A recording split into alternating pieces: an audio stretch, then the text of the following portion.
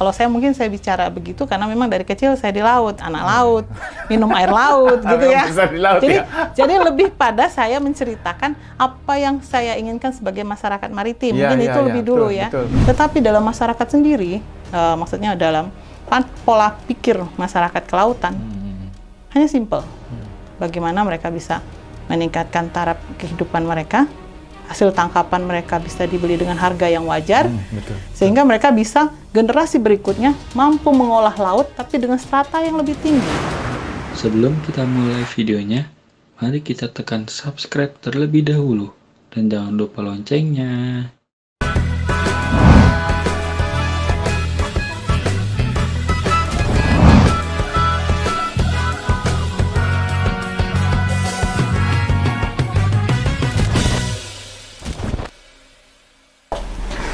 Assalamualaikum warahmatullahi wabarakatuh. Salam sejahtera buat kita sekalian. Om Swastiastu, Namo Buddhaya. Salam kebajikan. Kebajikan. Nah, sahabat Aspek Sindo, jumpa kembali di podcast Aspek Sindo Menyapa. Bersama membangun maritim Indonesia. Nah, sahabat Aspek Sindo, senang sekali rasanya di hari spesial, hari ulang tahun Republik Indonesia yang ke-76. Nah, ini adalah edisi spesial. Kenapa spesial? Karena kalau di selatan Jogja itu ada namanya Ratu Pantai Selatan. Nah, kita ini kedatangan Putri Maritim atau Serikandi Maritim lah. Orang lebih lebih kerennya seperti itu ya. Jadi sahabat Speksindo. Nah, siapa Serikandi Maritim yang hadir di studio Aspek Sindo? Kita sapa Mbak Ari Sinaga. Iya. Gimana Mbak Ari? Sehat? Alhamdulillah sehat, baik-baik saya. Tapi sebelum mulai coba Iya. saya kasih Ini dulu pakai ya. topi apa ini, Mbak Ari? Ini dari ini produk laut Oh, sebenarnya. ini produk laut ya? Ya, Pas sama. banget dong ya. Oh, ini berarti untuk siapa nih? Buat eh, Mas Fajar dulu Ya, ya. aku dikasih oleh-oleh nih. Biar lebih ganteng. Waduh, ini bisa lebih muda 10 tahun nih. iya, biar terlihat lebih ini. Lebih Nah, sahabat Aspek Sindo saya dikasih oleh-oleh nih sama eh, Mbak Ari. Saya panggilnya Mbak Ari. Beliau ini eh, salah satu aktivis perempuan yang sangat getol, paling tegas bagaimana berbicara tentang maritim. Mungkin karena beliau ini had, yalah terlahir lah ya, terlahir di perut pulau. Iya. Kalau nggak salah beliau ini lahir di salah satu pulau di Riau, ya, orang sering sebutnya Pulau Kijang. Pulau gitu, Kijang, Maria? iya. Betul. Oke, Pulau Kijang. Nah, seperti apa persepsi perempuan melihat maritim? Nah, tentu kita karena ini adalah edisi spesial, kita beri nama Pri, ya. Perempuan bicara maritim. Ya, Baik. seperti itu ya, Mbak. nah, sebelum kita mulai kita buka masker dulu karena kita udah memenuhi prokes ya. Kita udah vaksin dua kali, kita udah cek Betul. PCR dan alhamdulillah semua hasilnya negatif. Sudah boleh bisa ya? Boleh kita dibuka, buka. Mbak Ri, biar kelihatan cantiknya. Terima kasih. Sahabat Aspek Sindo, ya tentu penasaran ya siapa sih Mbak Ari ini? Ya, yang saya tahu sih ya, beliau ini sarjana hukum di salah satu perguruan tinggi terbaik lah di Indonesia dan juga pernah belajar hukum di luar negeri. Ya, kalau penasaran silakan nanti cek aja ya. Saya nggak mau sebutin dari negara mana dan kampusnya apa, tapi nanti kita akan tahu sendiri dan sahabat Aspindo pasti eh, akan menemukan jawaban itu. Nah, Mbak Ari, Ya, ya tentu saya berterima kasih banyak nih Mbak Ari mau datang ke studio eh, Aspek Sindo.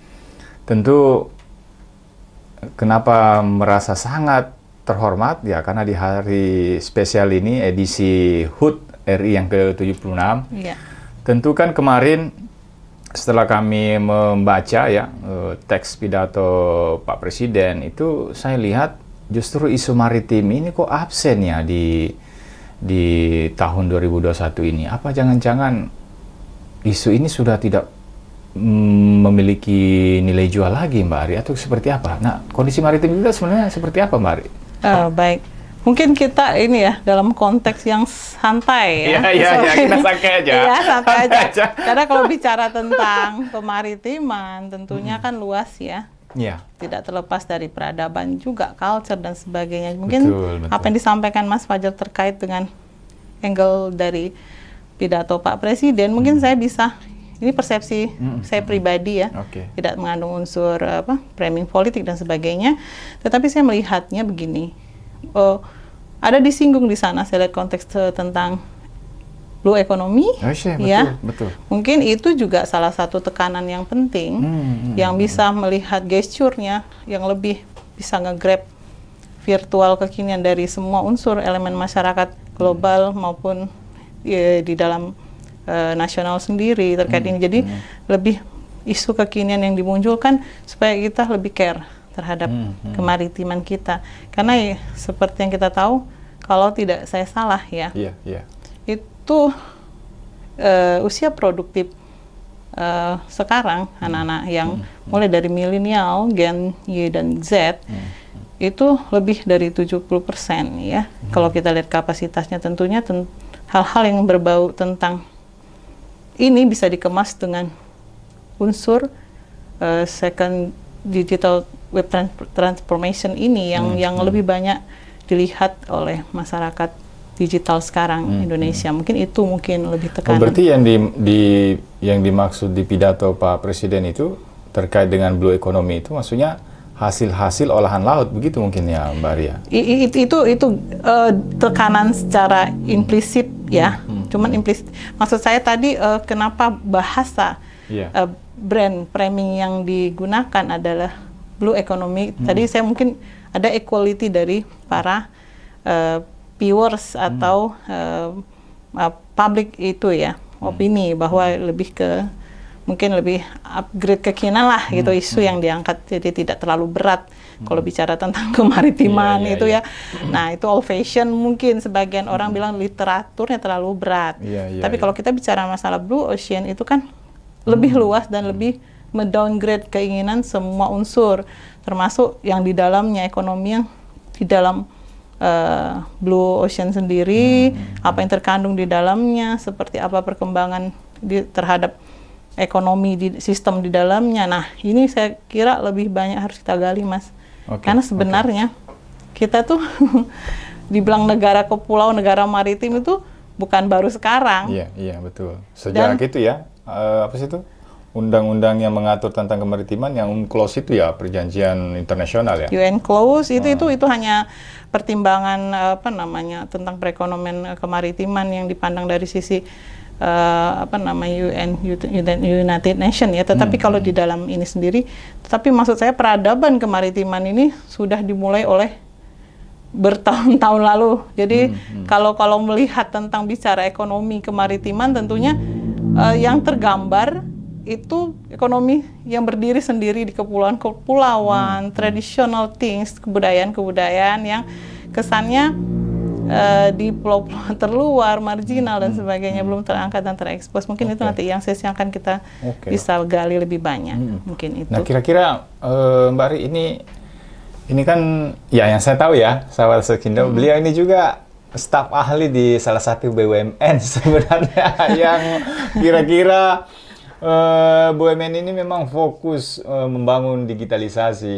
eh, Indonesia. Jadi hmm, tentu kan coba kita eh, apa namanya hmm, hubungkan gitu loh, hubungkan, ya. ya mengaitkan antara eh, apa eh, sistem digital dengan potensi Ekon- kemaritiman kita Iya. itu seperti apa? Blue economy Iya, tadi. blue economy itu ya. Kita Tapi- sepakat blue economy ya, blue economy Oh, iya. atau blue ocean ya. Blue Ocean. Oke. Tapi sebelum ke sana kayaknya Mas, saya lebih masih masih pena- masih ingin banyak eh, penekanan kita ke culture peradaban Culture tadi dulu ya. ya. Culture maritim berarti ya, Ya, budaya kalau maritim. kalau turunan nanti go eh, downgrade kita bicara tentang ekonomi kemaritiman tentu luas ya. Oke. Tapi kita bicara eh, ini mungkin latar belakang atau background kita dulu sebagai Hmm.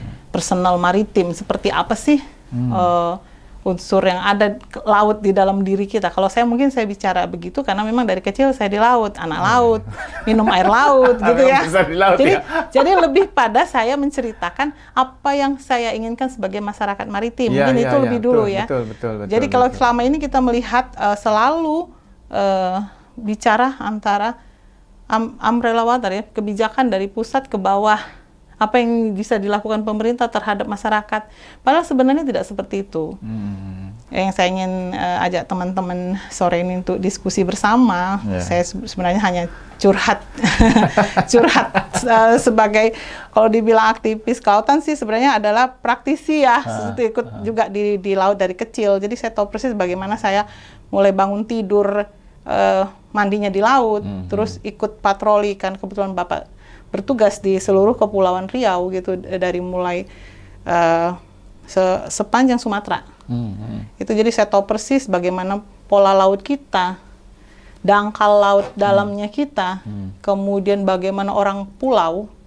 Bag- saya pernah tinggal di Bagan gitu, jadi saya tahu persis Oh, bagaimana bagan yang itu ya, yang perahu di atas laut, Iya, iya, iya, rumah-rumah benar. yang Perahu- ada iya, rumah-rumah di untuk- atas laut itu ya, untuk untuk ikan ikan itu ya. ya. Memang ada beberapa rumpon mungkin yang disediakan di sana Oh, di untuk- Sumatera namanya bagan juga ya? sama seluruh. Jadi eh, mengalami kandas di laut. Jadi saya tahu persis bagaimana perekonomian laut itu menggerakkan semua ekosistem yang ada di sana. Tentunya mereka pada saat eh, apa namanya aktivasi setiap hari kegiatan mereka untuk pemenuhan kebutuhan hidup tidak terlalu tergantung penuh sebenarnya dengan kebijakan tanda kutip pemerintah pusat maupun daerah.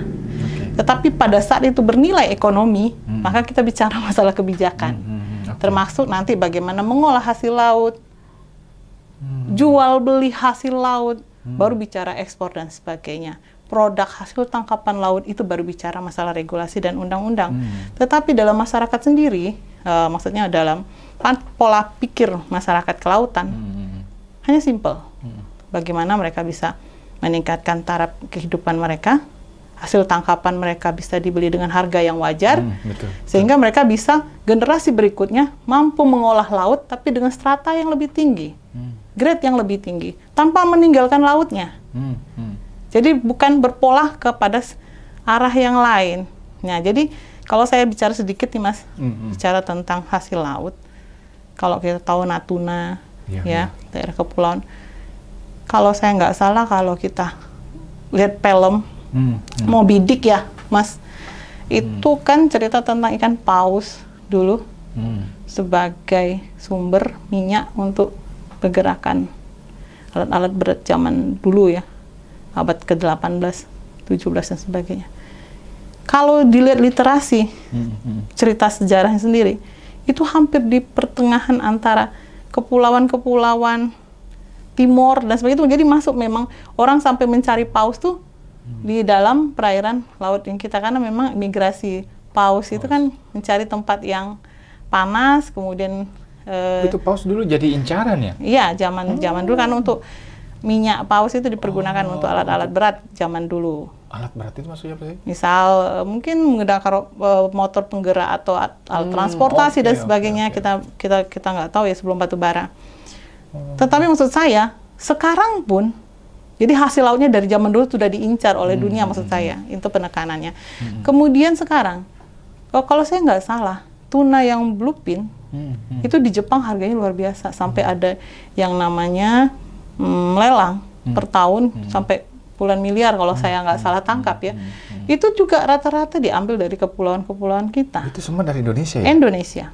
Karena di sana kan justru harus yang segar dan sebagainya. Nah justru ya kalau saya lihat yang tuna yang besar-besar itu ya dengan rasa yang mungkin bisa komparasi dengan rasa-rasa laut lain, saya pikir Indonesia jauh lebih bagus.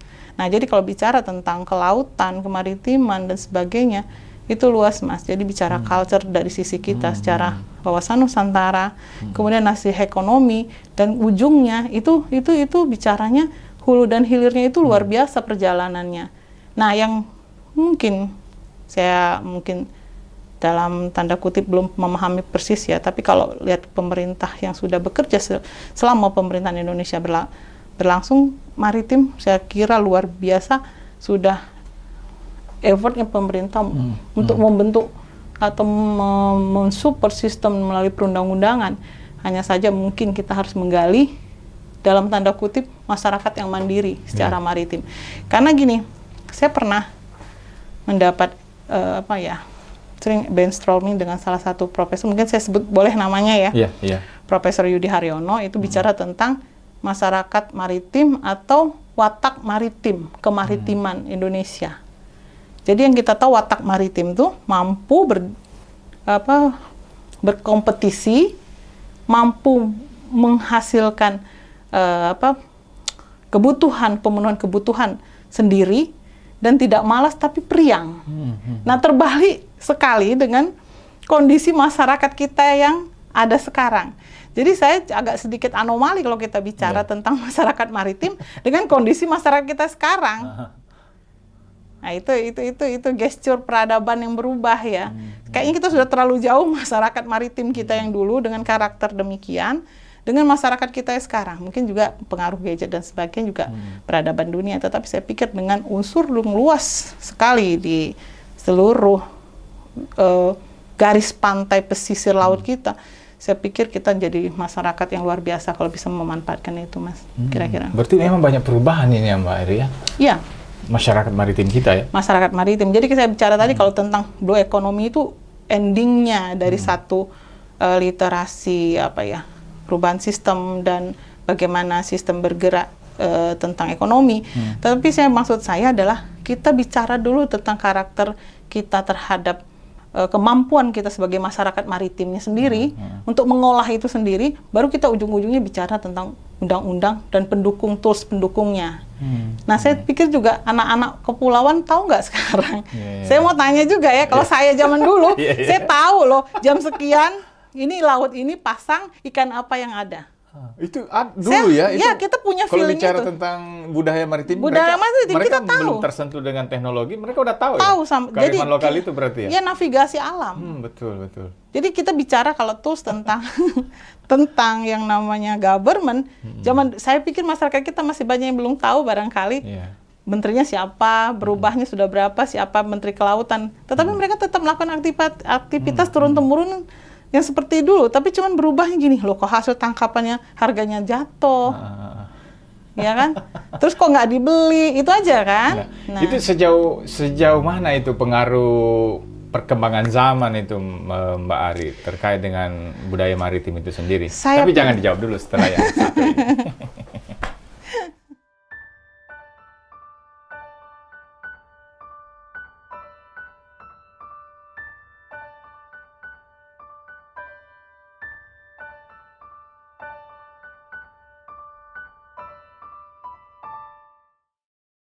Karena tengkulak, tengkulak pun sekarang bagian dari kita yang harus nanti kita jadikan salah satu partnership. Iya. PR-PR maritim. Kita nggak bisa lagi bicara masalah wacana kajian ilmiah, kemudian kita bicara masalah, oh begini edukasinya, kita bicara eh, dengan berapa bab eh, seminar, nggak seperti itu. Tetapi bagaimana hal yang sulit itu jadi mudah oleh oleh mereka yang pejuang laut ini. Regulasi atau hukum positif tidak pernah itu memberatkan sipil yang Civil ada society. di civil society yang di dalam eh, satu negara, kecuali yang ingin memberontak terhadap aturan.